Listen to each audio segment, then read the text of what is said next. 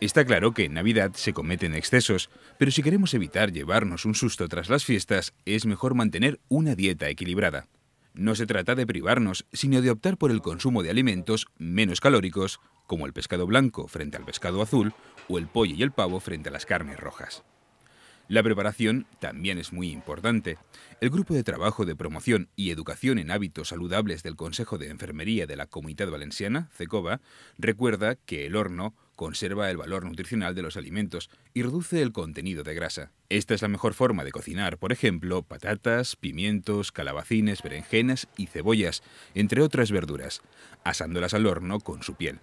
Y para evitar la pérdida de nutrientes al hervir o cocinar las verduras al vapor, es mejor prepararlas y cocerlas en trozos grandes.